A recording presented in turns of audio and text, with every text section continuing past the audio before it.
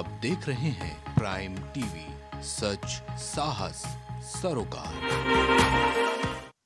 मैं हूँ यादव आप देख रहे हैं प्राइम टीवी देश की तीन लोकसभा और सात विधानसभा सीटों पर 23 जून को उपचुनाव होना है जिसमें सबसे ज़्यादा चर्चा उत्तर प्रदेश की आजमगढ़ और रामपुर लोकसभा सीट की हो रही है। आखिर क्यों यह चर्चा सबसे ज़्यादा है? देखिए हमारे इस खास रिपोर्ट में।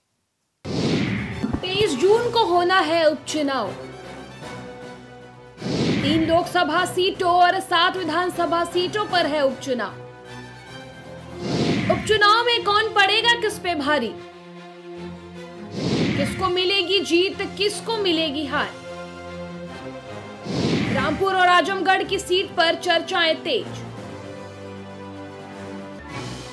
लोकसभा के चुनाव वैसे तो 2024 में होने हैं, लेकिन उससे पहले ही उत्तर प्रदेश में सियासी पारा चढ़ा हुआ है। देश की तीन लोकसभा सीटें और सात विधानसभा सीटों पर 23 जून को उपचुनाव होने वाला है।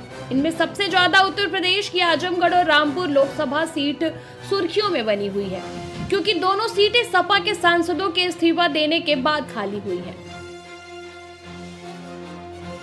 गौरतलब है कि आजमगढ़ से सपा मुखिया अखिलेश यादव तो रामपुर में आज़म खास सांसद चुने गए थे। विधानसभा चुनाव जीतने के बाद दोनों ने अपनी लोकसभा सीटें छोड़ दी थी। तो वहीं बीजेपी की कोशिश है कि दोनों सीटों पर कमल खिले, जिसकी वजह से सीएम योगी लगातार इन सीटों पर ताबड़तोड़ प्रचार कर रहे हैं।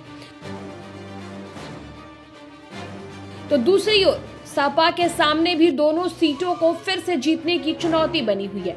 इनके अलावा मायावती की पार्टी बसपा ने भी आजमगढ़ से अपना प्रत्याशी उतारा है। हालाँकि रामपुर में बसपा नहीं लड़ रही है। तो वहीं दूसरी ओर आजमगढ़ लोकसभा सीट के ज्योति समीकरण की हम बात करें, आजमगढ़ लोकसभा सीट पर सपा ने अखिलेश के चचेरे भाई धर्मेंद्र यादव पर दांव खेला है, क्योंकि 19 लाख वोट वाली इस सीट पर सपा के यादव वोट बैंक का 26 फ़ीसदी और मुस्लिम वोटरों का 24 फ़ीसदी है। तो कुल मिलाकर 50 फ़ीसदी वोट इस सीट से सपा के मज़बूत बताए जा रहे हैं।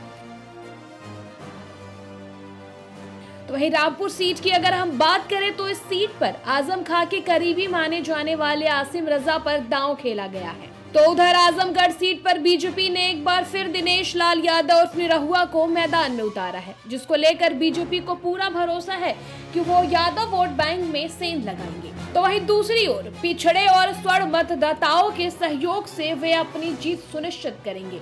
इसके अलावा दूसरी चर्चित सीट रामपुर में भाजपा के घनश्याम लोधी को मैदान में उतारा है। दरअसल बसपा भी दलितों और मुसलमानों के जाति गणित को देखते हुए अपनी जीत का दावा कर रही है। बता दें कि आजमगढ़ लोकसभा सीट में यादवों, मुसलमानों के बाद दलित मतदाताओं की सबसे बड़ी संख्या है। इस लोकसभा सीट पर कुल दलित वोटरों की संख्या 20 फ़ीसदी है। बसपा ने गुड्डू जमाली को अपना उम्मीदवार बनाया है। बसपा मुस्लिम और दलित वोटरों के गठबंधन के दम पर अपनी जीत सुनिश्चित करने का दावा कर रही है, क्योंकि बसपा चौवालीस फ़ीसदी वोटरों पर अपनी पकड़ बता रही है। अब देखना दिलचस्प होगा कि इस उपचुनाव में कौन जीत हासिल करता है। क्या सपा अपनी सीटों को बरकरार रखने में कामयाब होगी या भाजपा अपनी जीत का परचम लहराएगी? हमारे इस खास रिपोर्ट में इतना ही। देखते रहिए प्राइम टीवी। कुछ भाव पुष्प। आप देख रहे हैं प्राइम टीवी सच साहस सरोकार।